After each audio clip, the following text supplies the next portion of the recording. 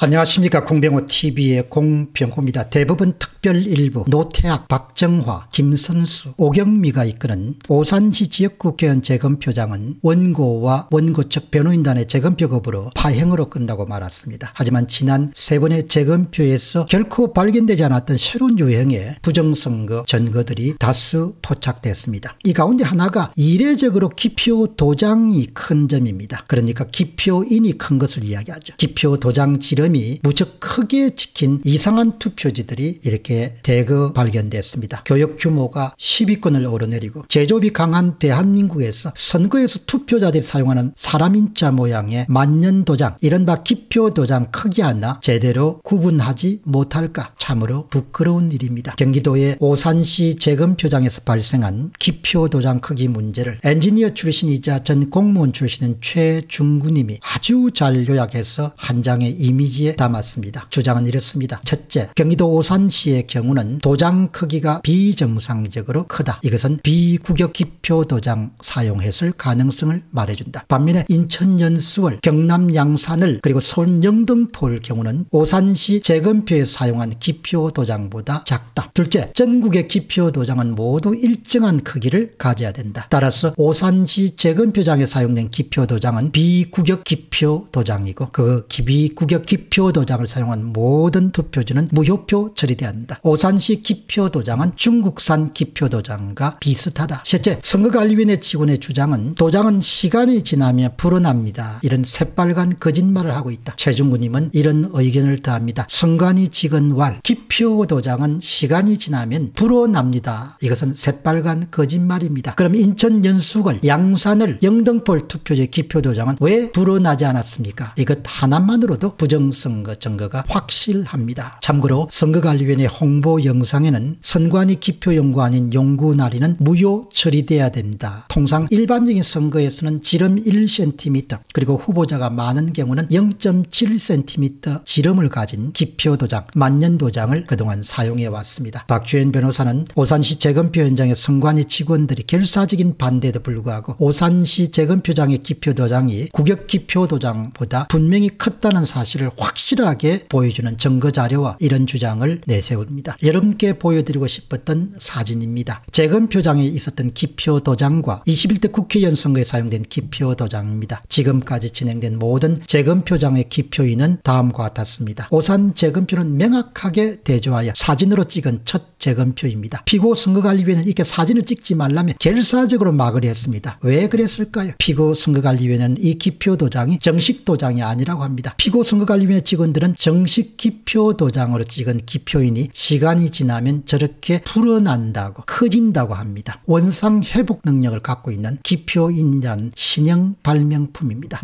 여기서 우리는 선거관리위원회 직원의 변명에 주목할 필요가 있습니다. 중국산 만년 도장은 지름도 크지만 기표인이 주변이 좀 두툼하게 찍힙니다. 아주 큰 차이입니다. 중국산이 가장 두툼하고 그 다음에 한국산이고 그 다음에 일본산입니다. 사진으로 중국산을 의 의심하지 않을 수 없는 충분한 이유가 있습니다. 이런 작업을 한국에서 하는 것은 너무 위험한 작업입니다. 눈도 많고 혹시 새 나가는 경우는 끝장나기 때문입니다. 그렇기 때문에 이번 기표인의 문제는 중국계 작업을 의뢰하지 않았는가는 시중에 우리의 한층 불을 끼얹는 그런 역할을 할 것으로 봅니다. 박주현 변호사는 중국산 기표 도장과 한국 국회의원 총선 도장을 비교하는 이미지를 함께 올렸습니다. 예를 들어서 2017년 대선에서는 기표 도장의 지름이 1cm에서 0.7cm로 줄어들게 되었습니다. 투표에 참관한 투표자들로부터 기표란이 좁아서 불편하다는 그런 말이 쏟아져 나오기도 했습니다. 이번에는 지름 1cm의 만년도장, 기표도장을 납품받아 사이로 총선에 사용했을 것으로 봅니다. 그런데 오산시 재검표장에서만 유동 1cm를 넘는 큰 기표도장이 사용되었습니다. 그리고 그 기표도장은 중국산 기표도장의 크기와 아주 흡사합니다. 여기서 이번 총선에서는 지름 1 1cm 기표 도장을 사용했는지 아니면 0.7 기표 도장을 사용했는지란 부분은 확인해야 될 것입니다. 그냥 넘어갈 수 있는 사안이 아닙니다. 기표 도장의 크기와 기표인의 주변이 두툼한 부분은 확실히 직관적으로 보더라도 기표 도장 주변이 두툼하고 기표인이 큽니다. 그렇지 않아도 오산시 재검표에서 등장한 투표지를 두고 전문가들 사이에서는 법원 증거 보존용으로 제출된 투표지에 또다시 손을 댔다는 주장이 유력한 증거물과 함께 지금 속속 제기되고 있는 실 정입니다. 그런데 공산품 구격은 변하지 않습니다. 왜 중국산으로 의심받는 크기가 큰 만년도장을 사용했을까요? 중국산 기표도장은 인주도 거듭 말씀드리지만 두툼하게 찍힙니다. 1cm 구격 기표도장을 사용하지 않은 이유 혹은 0.7cm 기표도장을 사용하지 않는 이유가 뭐겠습니까? 선거관리위원회는 선거에 관한 한 빠꾸미들입니다. 왜 구격 기표도장을 사용하지 않았을까요? 검찰 수사가 개시되면 금세 진위가 밝혀질 수 있는 사안입니다. 대한민국의 선거 관련 공적 기관 가운데 어느 곳 하나 지금 정상적으로 작동되는 곳은 없습니다. 이러고도 나라가 굴러가는 것을 보면 좀 희한합니다. 이런 일에 무관심한 사람들도 참 대책이 없는 듯다는 생각이 듭니다. 물건 하나 빼앗기면 안달복달하는데 자기들의 참정권이 빼앗겼는데도 무덤덤한 것을 보면 이게 뭔가 정상인지 헷갈리게 됩니다. 참정권이 빼앗는다는 것은 모든 종류의 악법을 국민들이 수용해야 되는 걸 뜻합니다. 옳지 않은 일이죠. 공병호 TV의 공병호였습니다. 감사합니다.